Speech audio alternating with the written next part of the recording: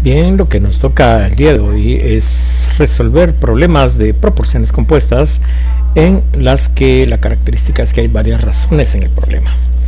Y en las relaciones que se establecen entre estas razones y la razón en la que está la variable, van a haber relaciones directas en la que la variable se espera que crezca o disminuya siguiendo el comportamiento de los datos conocidos o relaciones inversas en las cuales se va a esperar que la variable se comporte en forma contraria a los datos ya conocidos que se están comparando.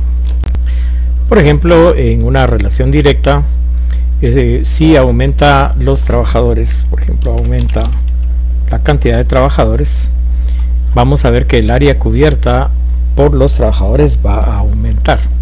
Si disminuyen la cantidad de trabajadores, vamos a ver que el área cubierta va a disminuir. Esto es porque hay una relación directa entre trabajadores y la cantidad de área que van a o que pueden cubrir. Este es un ejemplo, por supuesto, hay muchos, muchos relacionados en la vida real. En una relación inversa, por ejemplo, en el caso estamos relacionando trabajadores con el tiempo que se tarda un trabajo, si la cantidad de trabajadores disminuye, el tiempo va a aumentar.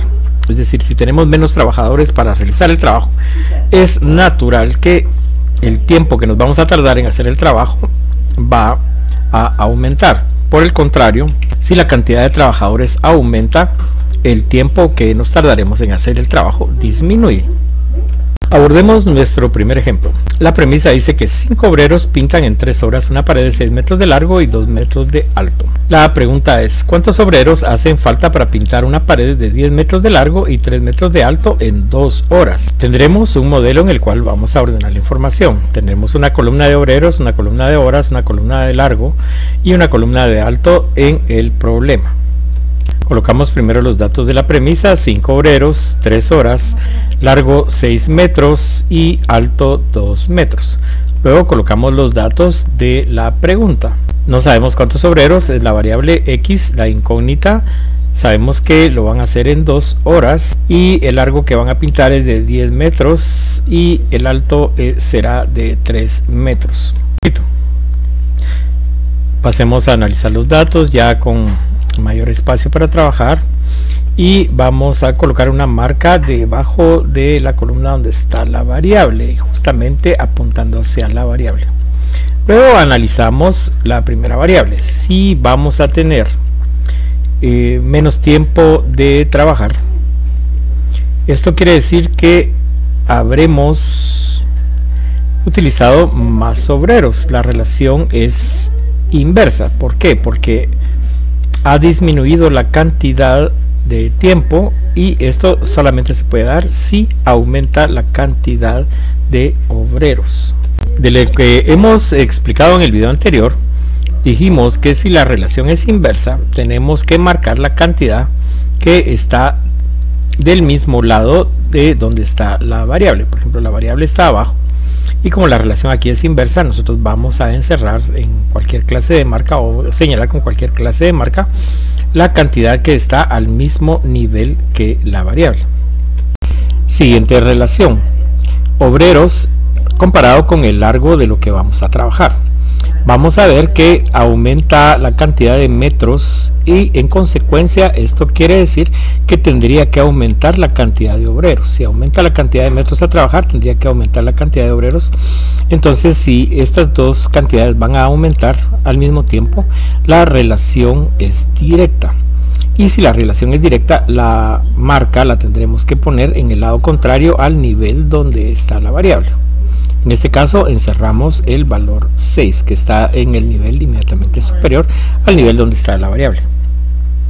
Comparamos la siguiente cantidad. La altura a cubrir va a aumentar y en consecuencia esto lo vamos a poder cubrir si aumentamos la cantidad de obreros.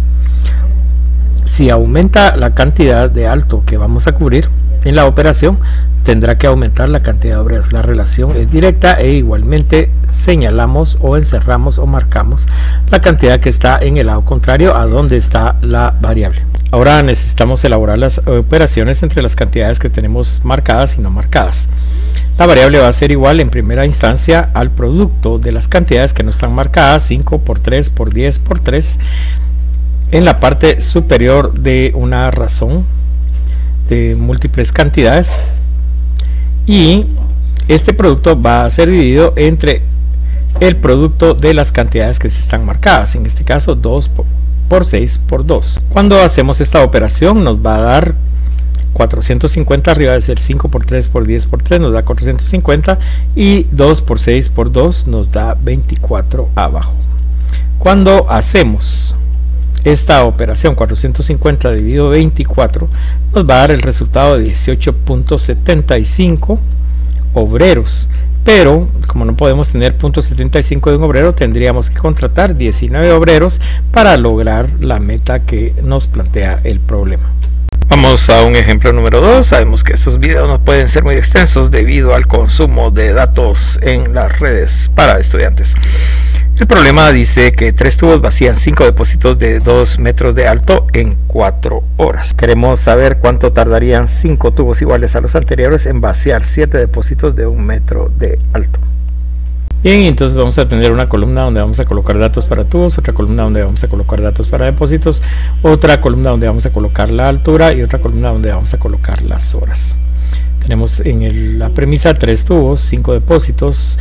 La altura de cada depósito es de 2 metros y las horas que se tarda los tres tubos son 4 horas. Y en el nivel inferior vamos a tener cinco tubos, siete depósitos a vaciar, cuya altura es de un metro cada uno y no sabemos cuántas horas vamos a tardar en la operación. Iniciamos nuestro proceso colocando una marca en la columna donde está la variable. Luego vamos a comparar la primera situación, vamos a aumentar la cantidad de tubos, en consecuencia nos vamos a tardar menos.